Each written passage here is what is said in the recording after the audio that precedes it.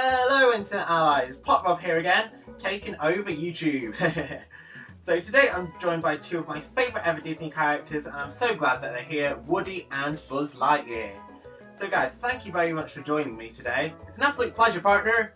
It's always fun to make new friends. It really is, yeah. So today I really wanted to talk to you guys about us pop figures and whether or not we are toys or collectibles.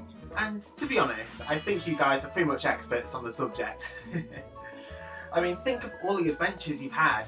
Hmm, I guess you could say that, yes. I think both Woody and I have changed and learned so much on these adventures. Although sometimes wouldn't really mind the rest, to be honest.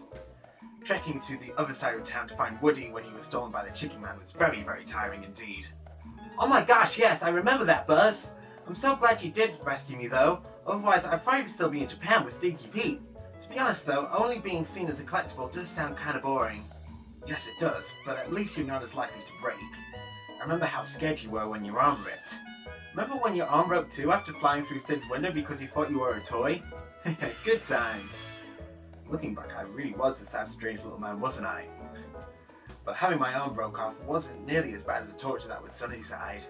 So I suppose the advantage of being a collectible then is remaining in mint condition, as well as like holding value of course as well.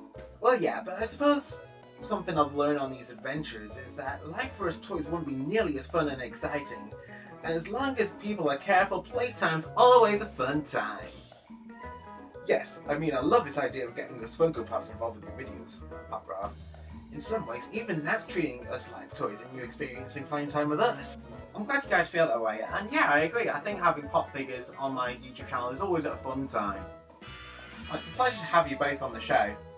And even though I don't have the boxes you came in anymore, I'm not planning on selling you for profit like I was going to. Here to stay as long as you want. Uh, thank you for making this feel so welcome, Rob. Yeah, I think at the end of the day, whatever your owner decides to do with their Funko Pops, that's fine. Some people probably do just want a cool collection, and others might want to play with them as toys. Yes, and a select few like you, Rob, you might have more creative ideas to do with them. As long as they don't turn out like Sid's creation, that's fine by me.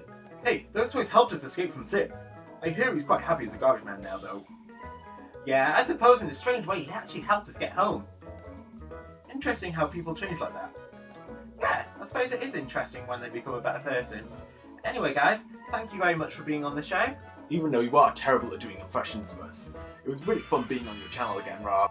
Well, yeah, I know I'm terrible at doing impressions of pretty much anybody except for myself, but, you know, main thing is just having a bit of fun, really, to be honest. Yay. So thank you very much guys, you internet allies for watching. I hope you guys really enjoyed this video. If you did, please give it a thumbs up. And for more Pop Rob adventures with my pop friends, please click on subscribe. Okay guys, that's it from me. Until next time, Team Rob blasting up again. I hope you're having a wonderful day whatever you end up doing. See ya! Bye!